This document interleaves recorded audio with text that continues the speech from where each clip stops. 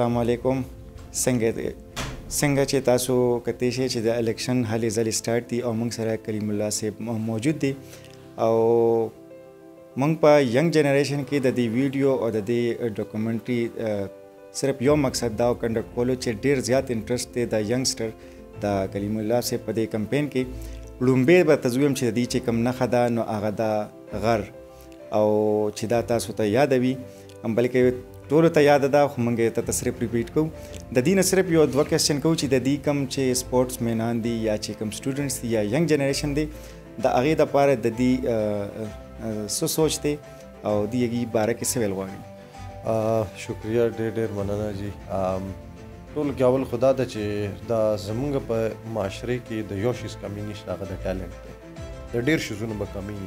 خو په انډیویډوال سطح باندې په ګروپ سطح باندې او په نېشنل سطح باندې زمونږ د ټیلنټ هیڅ کمی نشته دا یو شی زما په دې یو نیم کال دوه کال چې کم تقریبا زمونږ سپورتس اینډ کلچر دا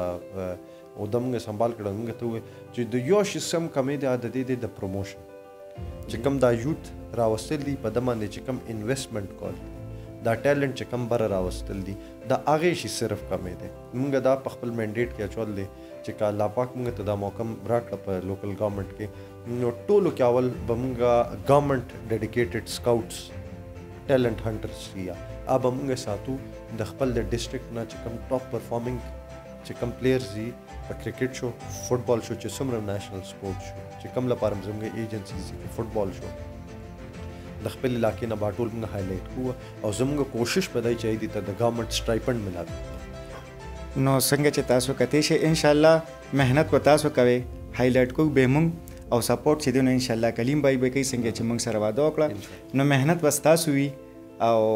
موږ به های لایټ کوو دی ته په نظر کې راولو دی به سپورټ کوي خو لومبه چې تاسو کلیم الله سپورټ کینو دی به تاسو سپورټ کوي نو لومبه تاسو د سپورټ نمبر دی چې تاسو دی سپورټ کې کامیاب کې او د دې کې نو ان شاء الله دی بیا د خپل خدمت نه نورستو کیږي ډیره مننه کلیم الله صاحب تاسو د ټایم شکریا ډیر مننه